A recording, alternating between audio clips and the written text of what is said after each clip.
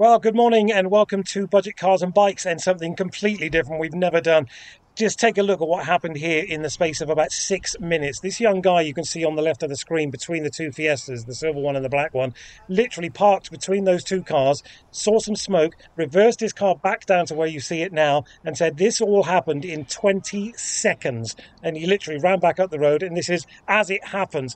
Bearing in mind he had his wife and his young baby in the car with him, so you can only imagine what would have happened if he'd been on a motorway or not being able to put the car somewhere safe and get his family out. He managed to get them all out and a couple of belongings, and I ran across with the fire extinguisher, and it was already too late. This is what happens in seconds. This is a 1 Series BMW. It is Saturday, the end of May, it's a bank holiday weekend. People are out with their families, and you just look. I've been talking for less than a minute, and you can see exactly how quickly this just engulfs this car and how incredibly lucky they were. God was definitely looking down on this family today. I'll uh, fast forward a little bit or time lapse or something, but you can just see how quickly this fire takes hold. It's really scary.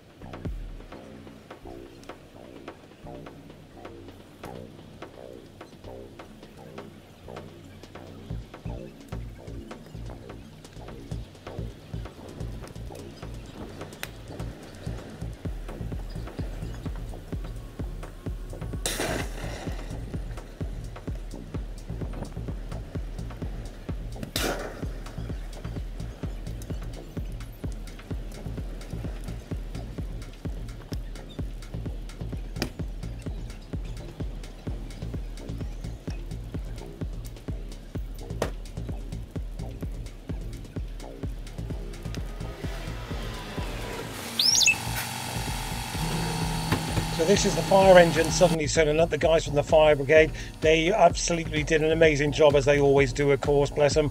And uh, they managed to put this fire out. But as I said, guys, this is just an indication of how quickly a car can catch fire just from nowhere. All he was doing was coming around with his family and his newborn baby to visit his mum on a bank holiday Saturday.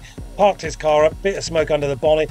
Luckily for him and the rest of the residents around here, he had the foresight to move the car away from the houses and from the other two cars either side of him. Otherwise, it would have been like a whole row of cars going up. It could have been a bloody disaster.